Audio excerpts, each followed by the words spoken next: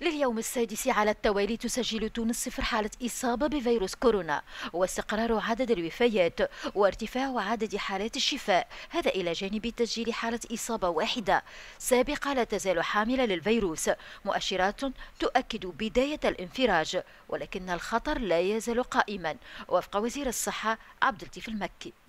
يعني الوضع الوبائي فيه حقيقتين.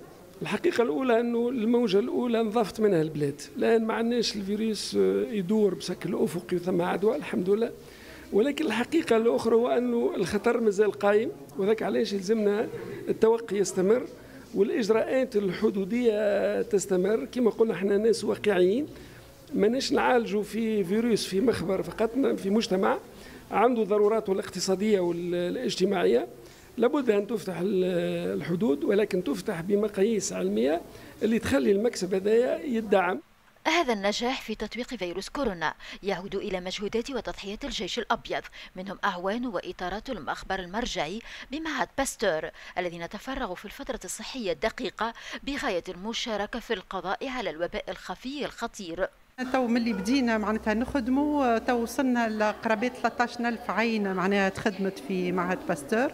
خدمنا صباح وليل أه توا صحيح معناتها خفت شوية لكن أه منتظرين أنه مش تعاود أه معناتها ال quantité نتاع les prélèvements مش تزيد في الفترة القادمة مع les rapatriements اللي مش يصيروا معناتها المواطنين التونسيين اللي في الخارج اللي مش يدخلوا. ورغم الإشعاع الذي حققه معهد باستور على الصعيدين الوطني والعالمي وحزمة المهام التي يقوم بها من دراسات وبحوث علمية وتوفير التلقيح والأمصال إلا أن بعض المشاكل المالية منها تمر بها هذه المؤسسة العريقة مشاكل تم طرحها خلال جلسة عمل بحضور وزير الصحة. معهد باستور معناها يقوم بتحاليل ويقوم ب, ب...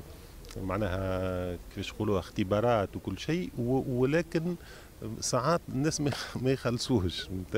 عندنا توا في البلاد التونسية عندنا حوالي 35 مليون دينار اللي هما ما دخلوش للمعهد وكرهم دخلوا. وهذا ينجم يشكل معناها يكون لنا شوية صعوبات. الوزارة ملتزمة بأن نتحرك الملفات الاستراتيجية في قطاع الصحة. باش الملفات الاستراتيجية هي اللي تأثر بعدين إيجابيا على المشاكل الجزئية. وباستور أعتقد أنه ملف استراتيجي إن شاء الله نجم نعملوا فيه. كل ما نستطيع هذا ويقوم معهد باستور حاليا ببحوث علمية بغاية معرفة خفايا فيروس كورونا ومدى تحوله.